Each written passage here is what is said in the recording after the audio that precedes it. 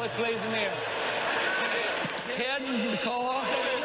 He said heads, it is a tails. Did you hear that? I thought he said tail. What's going on? What, what, what? They're saying that Sapolu called heads. They're, they're giving the ball to the Packers. What? We have a problem. What's Walsh is steaming. What a mix-up. My goodness. Evidently, they didn't hear Sapolu say tails, and the Packers are getting the ball. What's going on now? I think they're giving the ball back to the Niners. Unbelievable. What a mix-up. My goodness. Well, they got it right now. Sapolu called tails. Now that was just sheer chaos out there. I mean, look at Ray Nitschke eyeing up those referees. Nitschke is not a happy camper. You're kidding. Sick. Right now, the 49ers of the 80s wish they had the guy who played for them in the 90s to return the kickoff, Deion Sanders. But instead, it will be Don Griffin back to receive here in overtime. And Chandler booms another one high and deep. It looks like Griffin will settle for a touchback.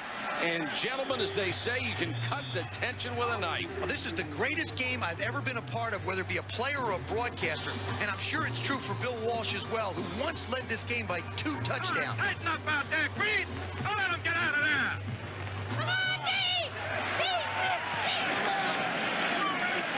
Joe Montana, with the exception of that critical end zone interception, has been brilliant today.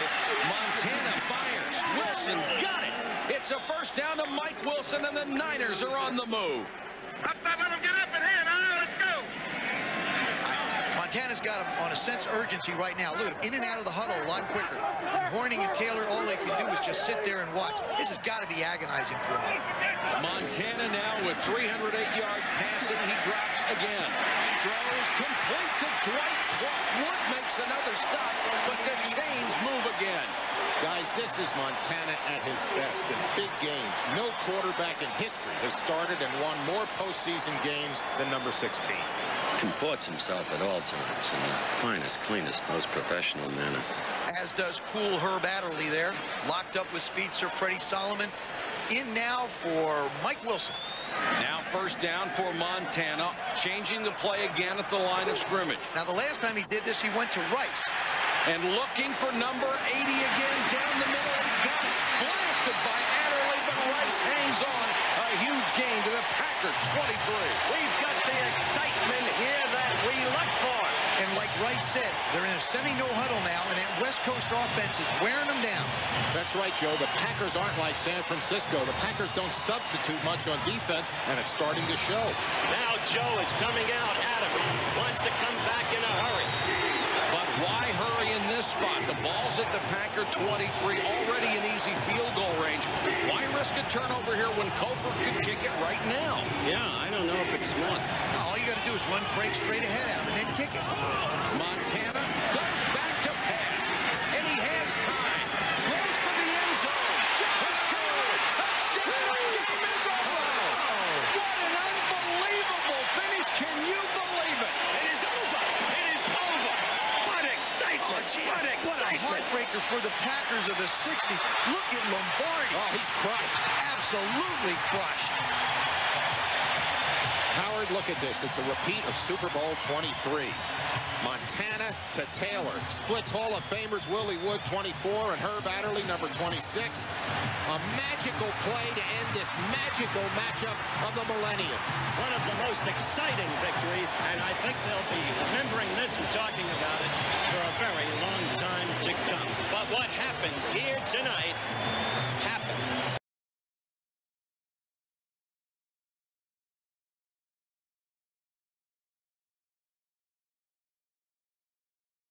Deion Sanders crowding the line of scrimmage, perhaps a blitz.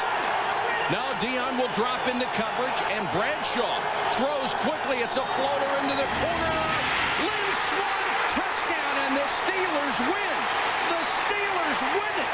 The Steelers win. Lynn Swann comes up big, but wait a minute. One of the officials saying he was out of bounds. The Cowboys win it. What a finish. Deion expected some help, but he just got there too late. Swann's ruled out of bounds. Safety Kenneth Gant. Boy, is he off the hook. What a game. Hold on, on, the play is being reviewed. Well, where are, what's going on now? Howard, the NFL brought back instant replay in 1999. They will review the play inside that tent. That's absurd. All they got to do is roll the tape. That's exactly what the referee is doing, and we'll take a look, too. Swann breaks to the outside, catches it. Hard to tell from that angle. But, Mike, you got to remember one thing. If this game was played in the 70s, it would be over. The Cowboys would have won. That's a would have great won. point, Joe, but we have the advantage here. Look at it again from the top angle. Swann catches it. His foot looks like it's out of bounds right there. Now run it back. Wait one second. Run it right back. Look, at what point did he catch it? That's the question you got to ask. Bring it back. He has possession there. I believe his left foot is already down, which means that his right foot is the second foot. That's definitely a catch. This is the moment the NFL has waited for to validate instant replay in a game this big. Everyone on the edge of their seats, the tension etched on President Clinton's face. Well, let's see. Nixon is inaugurated when? Howard, Tomorrow. Richard Nixon Tomorrow, was right? president in the early 70s. It's a touchdown. A touchdown. The Steelers win it. It is over.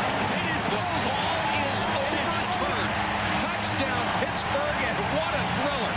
Pittsburgh Steelers of the 70s have defeated the Dallas Cowboys of the 1990s. They won't even try to clear the field for the extra point in this battle. The NFL brought replay back for critical plays in big games, but they could never have imagined anything this big. There was indecision on the call, but the replay clearly showed he was in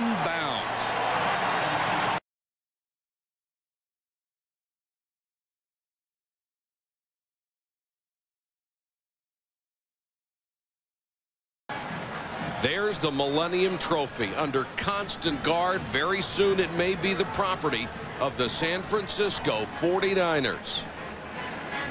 The 49ers are huddling on the sideline. Let's listen in. The boy is going to party tonight. Well, five seconds left. Not much the Steelers can do now. The 49ers will most likely squib kick, and that will be it. Ray Wersching lining up with the kicking team. And they do kick it short. Loose ball. And that one finally got out of bounds with two seconds left. Steeler ball at the 46.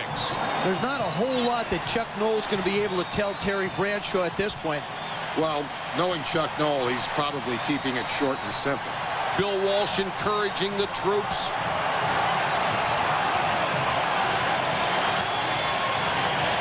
Jerry Rice and Joe Montana have done their part. Rice having an unbelievable day. And, of course, George Seifert defense. Boy, did they play well. Brilliantly, really. But can they hold them for one more play? The Steelers and the 49ers, the NFL's two greatest dynasties, now standing on the threshold of history. The Steelers break the huddle. The fans are in an absolute frenzy. Hacksaw Reynolds shows blitz. Ronnie Lott ready to go. Bradshaw, last play of the game. Here we go. Bradshaw drops to throw. Looks over the middle. It's deflected. Oh. Tipped. Oh, Franco out of nowhere.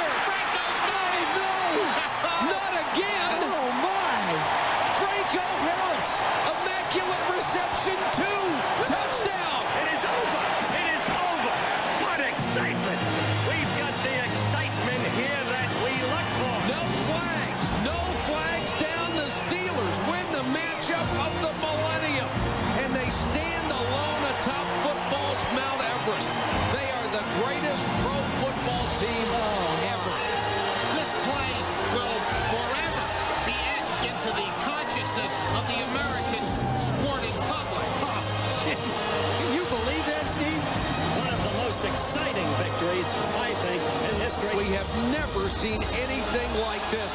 Not even Times Square on New Year's Eve 2000.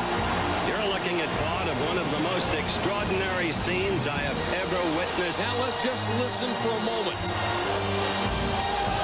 Well, I have, I have goosebumps like golf balls on my arms. And the MVP of the game will go to the man who once again salvages victory from the jaws of defeat for the Steelers.